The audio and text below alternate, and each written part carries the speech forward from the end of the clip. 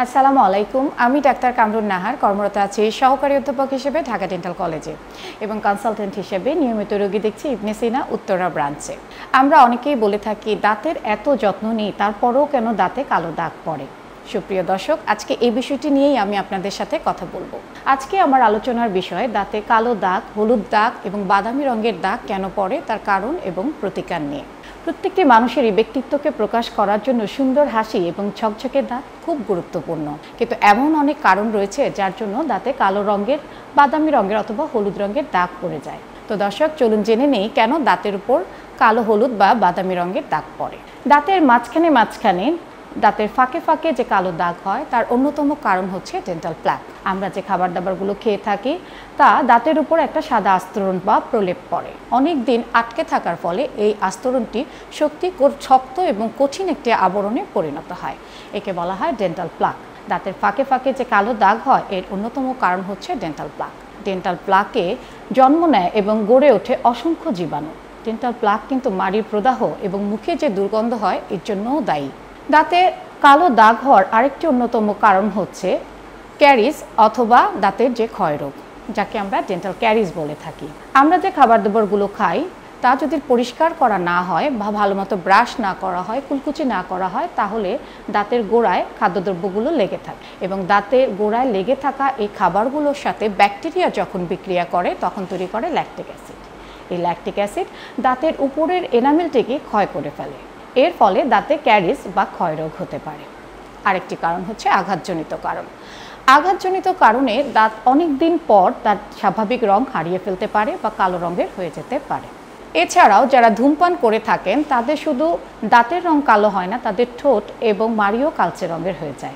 আমরা যারা অনেক দিন ধরে নলকূপের পানি পান করছি অথবা টিউবওয়েলের পানি পান করছি, তাদের দাঁতও কিন্তু কালো রঙের হয়ে যায়। কারণ নলকূপ বা টিউবওয়েলের পানিতে প্রচুর পরিমাণে আয়রন থাকে। আমরা অনেকেই আয়রন জাতীয় ওষুধ খেয়ে থাকি এবং সেটি দীর্ঘদিন ধরে। তাদের বেলায়ও এরকম কালো দাগ পড়তে পারে।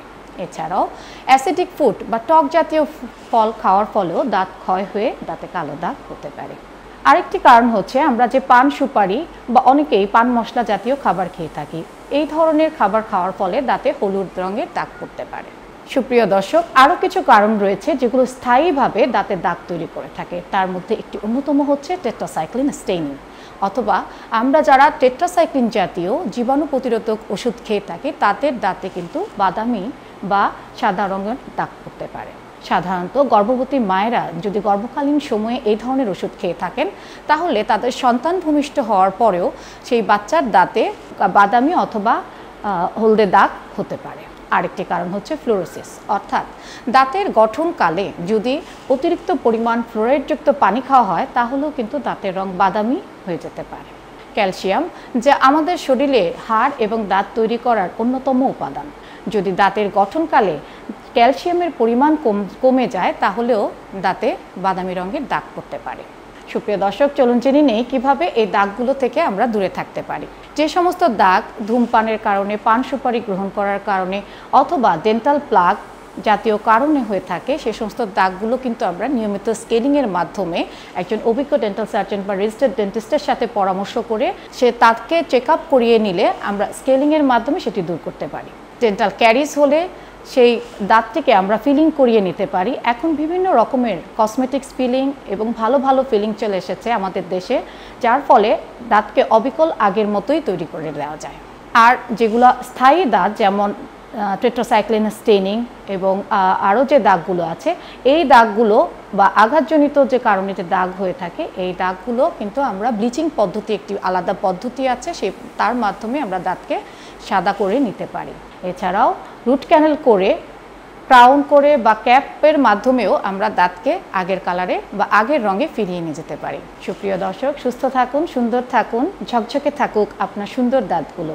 ধন্যবাদ।